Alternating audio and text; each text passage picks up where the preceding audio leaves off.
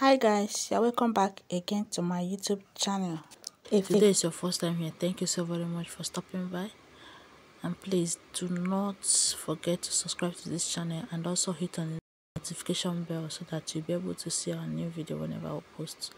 So in this video i'll be showing you how i sew this beautiful dress. So um, i'm done cutting the lining and the next thing to do is to sew the neckline and the shoulder part so after sewing it this is what it looks like.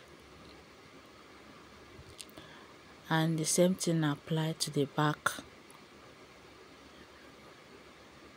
side. So the next thing i'm going to do now is to bring out my slit cover. Remember i measured it on four two inches then I also went ahead to stitch it and I left one side open. So I'll go ahead and turn it up and then place it on top and sew right from here. And at the down part I'm going to fold it a bit so that the edges will not show. Then I'll sew it. Then after sewing it I'll just go ahead now and measure where I'll be putting my design. As you can see I measured like 5 5 inches round the slit. So this is me just creating the lines the guidelines on where I'll be putting my design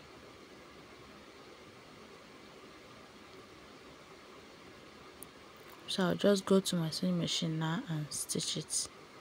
So after sewing it head and join the back and the front piece together.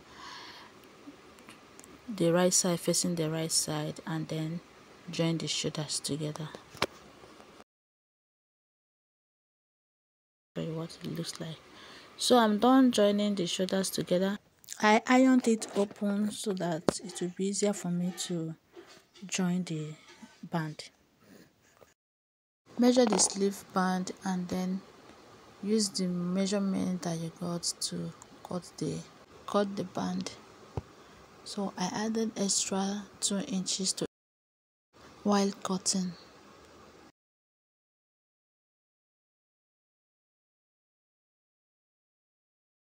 Then after that i'm going to cut it out and then use my pressing iron to join it together with the stiff putting stiff on it so that it will give me this standing shape to stand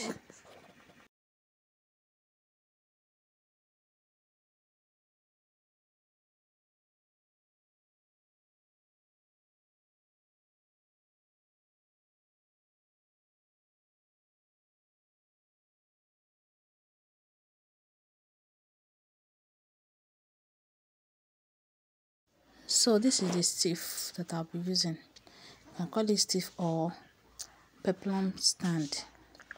So anyone so I'm trying to position it well so that I can be able to gum it together with my pressing iron. The gum side facing the wrong side of the fabric. Then press it with your hot iron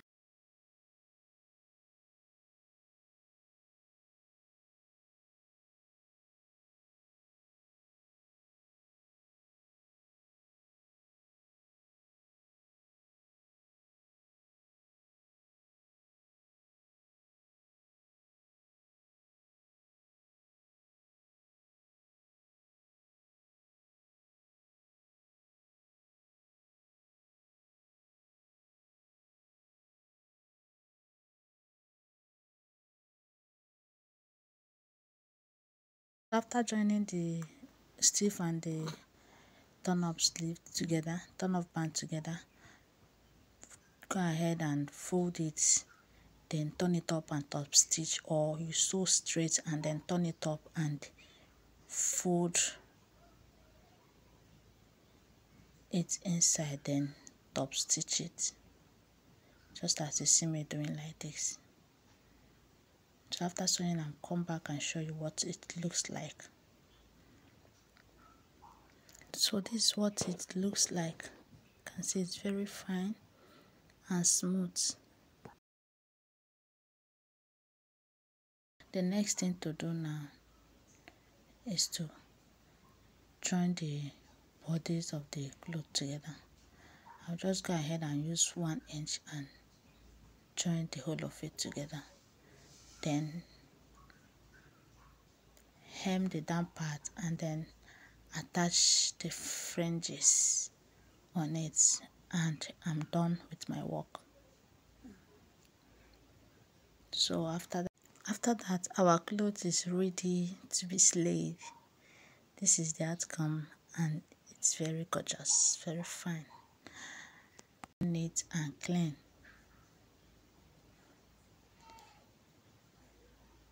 you can actually give your own your own design any part of any type of design that you want to put on your own. You can actually use bias or anything. So this is the hand. You can see it's very strong and standing.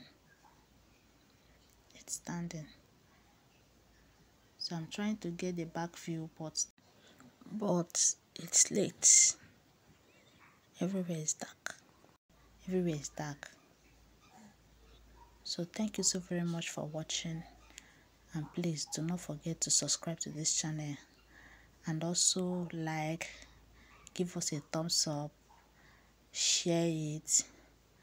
And if you have any question kindly use the comment section. I'll be there to answer all your questions. If you have any thoughts on this you can actually drop it. So thank you so very much for watching. See you next time on my next video. Bye